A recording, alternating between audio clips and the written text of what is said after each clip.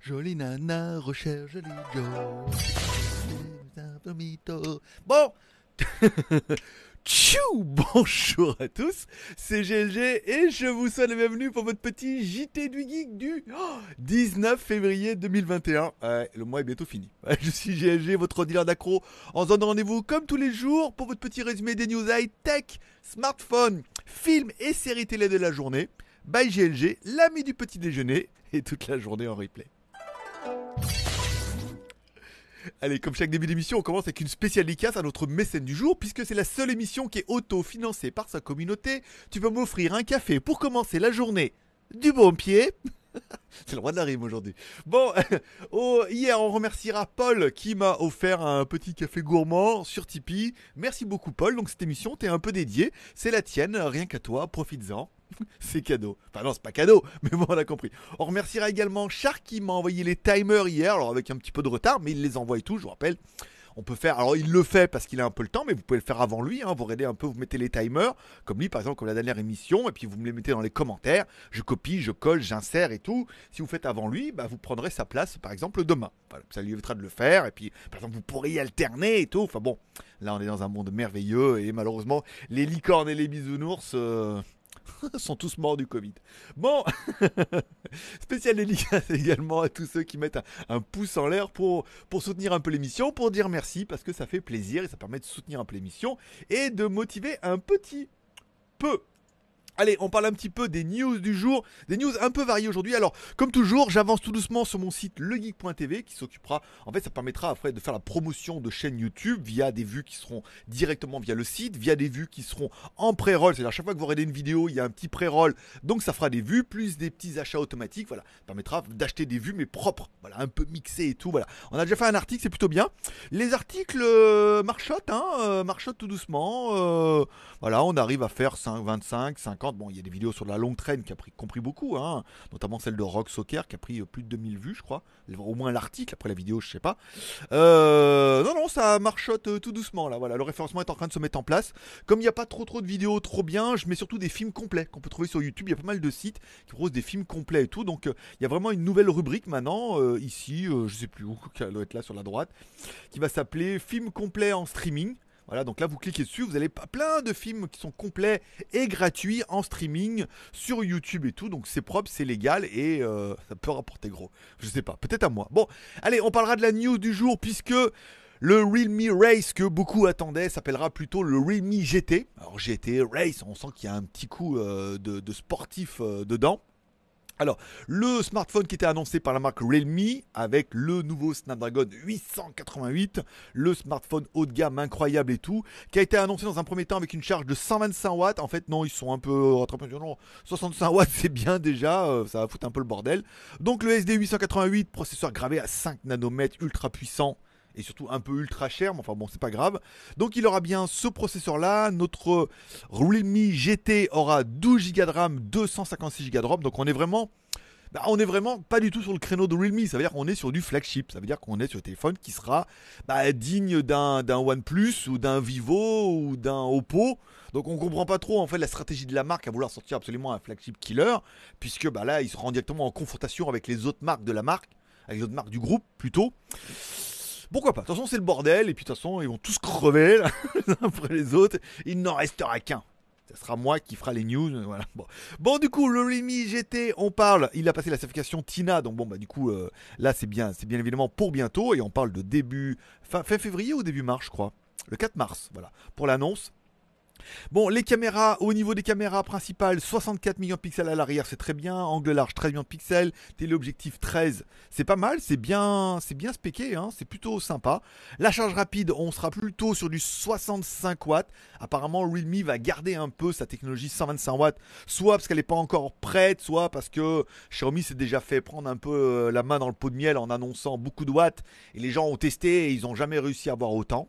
Donc encore une fois, il y a aussi un peu de la sécurité comme ça. Donc on va voir, peut-être ils annoncent plutôt pour la série X, le Realme X70 Pro qui lui pourrait être encore, encore une fois le flagship de chez flagship, qui lui pourrait avoir cette nouvelle charge rapide.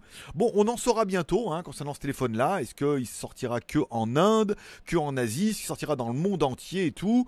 Qu'est-ce qu'il aura? Combien ils vont le vendre? Surtout Parce qu'encore une fois, bon bah Realme cartonne et euh, se vend à foison aujourd'hui, surtout parce qu'ils ont des téléphones au rapport prix incroyable. Et en dessous, surtout des 300 euros, t'as quand même déjà quelque chose de pas mal. 100, 200, 300 euros, t'as quand même de très très bons téléphones. Après, là, à cause du SD 888, on va plutôt être proche des 500, 600 euros. Donc, est-ce que les gens continueront à avoir autant d'engouement dans une marque de téléphone bah, qui va devenir peut-être un peu trop cher, un peu comme Xiaomi en sortant un téléphone à 1000 balles? Bon, bah là, les gens disent oui, bah là, 1000 balles quand même, oui. Le rapport prix n'y est plus. Bon, également, puisque ça a été teasé, le Realme Narzo 30A et 30 Pro. Alors là, ils ont carrément passé les certifications et tout. Donc on a vraiment plus de détails, des fuites, des leaks. Donc la série Narzo aura donc bien modèle, un 30A, donc qui sera un modèle plutôt, bah, forcément tu as compris, un peu entrée de gamme, un écran de 6,5 pouces avec une petite encoche pour mettre la caméra frontale de 8 millions de pixels, classique, un Helio G85, c'est pas mal, encore une fois, ça suffira pour propulser l'appareil. Une batterie de 6000 mAh avec une charge de 18 watts des choses qui ont déjà été mises en place sur le Realme Narzo 20. Donc ça correspond, on dit bah c'est évident, ils vont l'upgrader un petit peu comme ça. Et euh, alors la forme du boîtier, alors c'était quoi hein, Le 30, et le 30 Pro, 30 Ra, mais voilà. Euh, le 30 Pro, lui, sera le même en version un peu plus haut de gamme, avec un écran, bah du coup, euh, même écran, mais avec 120, 25, 120 Hz de rafraîchissement d'écran. Le Dimensity 800, une batterie 5000 mAh. Là, on a de la charge un peu plus véloce à 30 watts. Au niveau des caméras arrière, on parle de caméra 41 pixels mal. Oh, le Dolby Atmos, euh, tout ce qui va bien et tout. De la RAM, de la ROM, de la caméra frontale 16 millions de pixels. À l'arrière 48, euh, ouais, ouais, pourquoi pas. Après, pour, on en a parlé en 48 plus 2. Bon, le Narzo 30, lui, on sait déjà que bon, il sera repris par rapport au Realme X7 qui était vendu moins de 275 dollars en Inde. Ça sera un téléphone 5G et vaudra moins de 175 dollars, donc peut-être 250 dollars. Bon bah après voilà, c'est un téléphone pour le marché indien. On les attend à voir ce qu'ils vont nous proposer et tout. On est plus dans, le, dans la stratégie de Realme. C'est-à-dire des téléphones 5G, bien spéqués, 41 pixels, du rafraîchissement, voilà, 200, 300 balles, on est pas mal. Après, le 888 et mettre tout ce qu'ils ont en stock un petit peu chez, euh, chez Oppo et vendre ça à 500, 600 balles. Je suis pas sûr que les gens suivent, hein, euh, à voir. Bon, on parlera du Samsung Galaxy A72 qui permet en fait d'inaugurer cette nouvelle série de smartphones Samsung. Avec, on avait déjà eu le A51 et le A71 qui sont disponibles sur Amazon, respectivement entre 200 et 300 et 300 et 400 euros. Donc des bons téléphones. Là, bien évidemment, on a une nouvelle variation avec le A, le 52 et le 72. On va plutôt parler du 72 aujourd'hui qui vient de passer la certification bah, en Thaïlande. Donc comme quoi c'est là qu'il pourrait arriver en même temps. Alors moi, j'aurais plus été pour le F62 dont on a parlé la semaine dernière, qui m'intéressait peut-être un peu plus. Mais bon, après, le A72, il faut voir. Parce que le A71 était pas mal, même si apparemment au niveau photo, c'était pas parfait, parfait. Le A72, donc du coup, aura un écran Super AMOLED de 6,7 pouces en Full HD+, qui suffit largement pour un smartphone, encore une fois. Lecteur d'empreinte digitale sous l'écran, une caméra frontale 32 millions de pixels, et à l'arrière, les caméras Samsung euh, qui sont un petit peu tendance. 64 plus 12 plus 8 plus 2, c'est tout ça, tout ça c'est pas mal. Hein. Un Snapdragon 720, 6 ou 8 Go de RAM, 128, 256 Go de ROM. Il tournera bah, sur Android 11 avec euh, leur surcouche locale, bien évidemment. Il sera IP67. Donc tu pourras pas filmer sous l'eau et téléphoner au dauphin, mais bon, euh, il résistera quand même euh, à une petite immersion rapide, pas trop longtemps, pas trop profonde. dit-elle. Euh, une batterie 5000 mAh avec une charge rapide de 25 watts et selon les rapports, le téléphone arrivera en Inde et probablement sur d'autres marchés. Bah, on pense bien évidemment à la Thaïlande puisqu'il vient de passer la certification en Thaïlande. Donc j'ai envie de te dire, si une des premières certifications vient d'être validée ici, là, elle a passé la certification Thai NBTC. Voilà, donc euh, là on est plutôt pas mal. Donc d'après les rapports, on devrait avoir un téléphone qui vaut en version 128 Go 449 euros TTC en Europe garantie 2 ans. Donc ça fait un petit 400, un peu moins de 400 euros euh, en, Asie. Et la version de 56, 509 euros. Donc là on est plus sur le téléphone entre 400 et 500 euros, contrairement, euh, comment il faisait notre A71 sur Amazon? Fais voir un peu par surprise, le A71. D'accord. Sinon, euh, voilà. 337 euros. Bon, il a pas mal baissé. Hein. euh, il était en promo à 399 euros, 337 euros. 337 euros, c'est plutôt un prix qui est sympa. Hein. euh, 350 euros. Bon, là, c'est des prix de lancement, des prix estimés. Après, bon, il y aura les ODR. Et puis, bon, l'intérêt des smartphones Samsung, si je puis dire, c'est qu'aujourd'hui ils valent 449 euros, dans 3 mois ils sont à 350 euros, quoi, parce que ça décote rapidement. On n'est pas, chez Apple, donc les prix de lancement sont un peu élevés. Oui, oui, non, peut-être, pas mal. Après, voir euh, au même prix, euh, qu'est-ce que va nous faire Realme hein? Est-ce qu'il va nous mettre sa race? Ou euh, il va plutôt nous mettre en mode grand tourisme Bon, hier, j'ai pas regardé de, de film, série télé, j'ai pas eu le temps parce que j'ai- je suis tombé sur la vidéo, alors la, version gratuite de BTLV, bien évidemment, où ils interviewaient André de Biaz, qui s'annonce comme le gros monarque. Alors, lui, il a pas vu la Vierge, il a vu la Vierge, Jésus, tout, euh, voilà, toute la, toute la tripotée. Alors, avant, avant de lui jeter la pierre, il faut écouter son histoire, bien évidemment. Donc, il y avait la version gratuite sur BTLV qui durait plus, plus de deux heures et demie. Et euh, il y avait une interview de lui sur la version payante de BTLV. Alors, je rappelle, j'ai eu des petits soucis d'abonnement avec eux, mais ils m'ont quand même offert pendant un an BTLV. Donc, je suis allé voir ces deux interviews.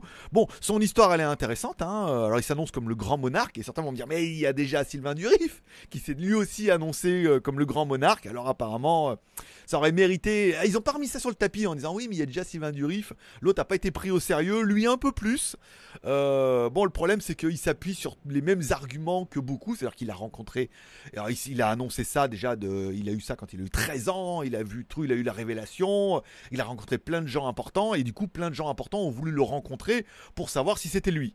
Alors lui, il dit bah, qu'ils ont confirmé que c'était lui. En même temps, il peut raconter ce qu'il veut. D'accord. Autant beaucoup peuvent avoir voulu le rencontrer en disant Oh, c'est lui le grand monarque. Et en fait, bon, on le voit. Puis dire bah non, en fait, c'est pas lui.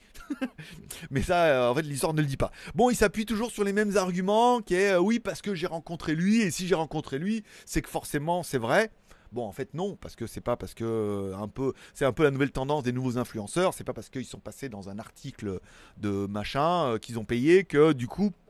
C'était assez intéressant, c'était pas mal. L'interview de BTLV était bien, puisque malgré tout, quand il y a eu la libre antenne, ils l'ont quand même un peu poussé dans ces derniers retranchements et tout. Bon, le problème, c'est que le mec, ça fait 20 ans qu'il raconte la même histoire, donc on sent qu'il est rodé, il se répète beaucoup, mais il raconte toujours les mêmes, euh, c'est les mêmes, euh, les mêmes phrases. Voilà, c'est toujours au bout d'un moment, c'est parce que c'est comme ça, parce que c'est comme ça, parce que il y a la le truc de la Vierge, dans la Vierge, on la met à l'envers, on voit mon visage, euh, parce que grâce à moi, voilà, euh, le pape a été sauvé, il le sait, je l'ai rencontré, donc c'est vrai. Bon, ça manquait un petit peu de, vérité, mais une des vérités qu'il nous annonçait, c'est que une des révélations sera faite le 29 mars 2021. Alors 29 mars déjà parce que c'est l'anniversaire de ma maman, donc je me rappellerai facilement. Et 2021, c'est le mois prochain. Donc là, euh, grosse révélation et tout. Donc là, du coup, on saura euh, qu'est-ce qui va se passer, si son histoire est vraie ou euh, si fabule. Oh, ça mérite, c'est intéressant. Voilà, c'est intéressant. Ça n'a pas fait ma soirée, mais c'était intéressant. Euh, ce soir, j'ai seulement regardé Monster Hunter, puisque WandaVision, ça sera disponible demain. Et j'ai pas trop avancé du coup sur Marco Polo, puisqu'avec leurs trois vidéos là, deux heures et demie et deux vidéos euh, sur BTLV, ça m'a pris euh, longtemps et tout. Mais l'histoire était intéressante. Voilà, du grand monarque et tout. euh, voilà, rencontrer des gens et tout. Moi, j'ai trouvé ça captivant. Après, il faut regarder ça comme un, un peu de la science-fiction. Faut en prendre et en laisser, mais c'était pas mal. Bon, hier sur Instagram, petite balade en vélo autour du lac. hein. On est parti avec Jean, on a fait le, tour du lac en vélo et tout. C'était très sympa et tout. Et puis bah, sur la route, on s'est arrêté manger. Il y avait un restaurant indien et tout. Oh, on s'est défoncé le bide. J'ai pris un kilo là ce matin. Donc ce soir, on va aller courir hein, à l'ancienne parce que le vélo, on n'a pas, j'ai pas dépensé beaucoup de calories parce que c'était vraiment facile. Avec 10 km, en une demi-heure, c'était torché. Euh, par contre, euh, le nan fromage et euh, le poulet masala et le riz et tout. par contre, voilà. Au niveau des calories, c'était pas bien. Vous pouvez me suivre sur Instagram. Mon pseudo, c'est Greg le Geek. Il y a des lives tous les jours vers 11h30. Aujourd'hui, on ne dérogera pas à la règle. Euh, et puis on verra au mois de mars euh, si on continue ce format-là ou pas. On verra surtout en fonction de- des types du mois de ce mois-ci. On parlera euh, peut-être pas dans le live de dimanche, mais dans le live de dimanche prochain, on fera le bilan du JT du Geek, de tous ces lives et tout, puisque ça fait énormément de formats pour moi à faire tous les jours. Et euh, voilà, donc on en parlera plutôt le dimanche 28. Hein, ça fera euh, l'occasion de, faire un peu le, bilan du mois et de tous ces efforts, savoir euh, s'ils ont été récompensés ou pas. Pas vu la Vierge, moi. Ni Jésus, hein. Ni rien. Ni le diable, ni tout. euh. Personne, hein. Je les espère pas. Pourquoi pas. Oh, Voilà. Bon, ça sera tout pour aujourd'hui. Je vous remercie de passer me voir, ça m'a fait plaisir. Ça a duré moins de 15 minutes. C'était pas mal, hein moins de 15 minutes, c'est bien. Je vous souhaite à tous une bonne journée. Profitez bien bah, de votre dernier jour de la semaine, hein, bien évidemment. Profitez de la vie. Merci au tipeur du jour qui est euh, Paul à Trade pas trade. Paul Atreide. Si vous voulez devenir notre tipeur de demain et un peu le mécène et que l'émission te soit dédiée demain, petit Tipeee. Hein, on va partir de 1 euro, tranquille. Et puis du coup, l'émission de demain sera dédiée. Sinon, tu peux déjà mettre un pouce en l'air. C'est gratuit. Ça peut rapporter gros. Bon, pour l'instant, voilà. Et je vous souhaite à tous une bonne journée. On se donne rendez-vous samedi matin à partir de 6h du matin, comme tous les jours. Et dimanche, on sera en live, là, dans ce cas, entre 11h et midi. Voilà, c'est tout pour aujourd'hui. Merci de passer me voir. Forcément, je vous kiffe by GLG, l'ami du petit déjeuner. Ouais. Et toute la journée en replay.